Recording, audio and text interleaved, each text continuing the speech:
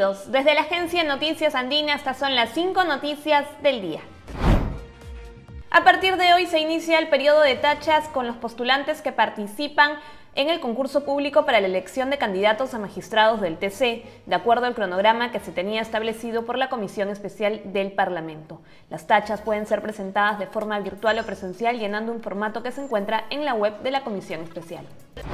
La Conferencia Episcopal Peruana invocó a los gobernantes y a la clase política a priorizar la atención de la emergencia sanitaria, impulsar la reactivación de la economía y construir caminos de fraternidad. En el comunicado emitido por los obispos del Perú, señala que se debe actuar pensando en el país.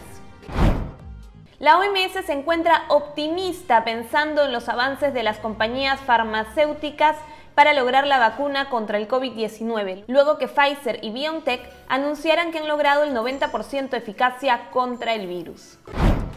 Atención porque el MTC recuerda que el plazo para la vigencia de las inspecciones técnicas vehiculares de las unidades de uso particular, así como las que son dedicadas al transporte de carga mercancía, vence el 30 de noviembre. Esta ampliación solo es válida para aquellos vehículos cuyo certificado tuvo fecha de vencimiento entre el 16 de marzo y 30 de junio.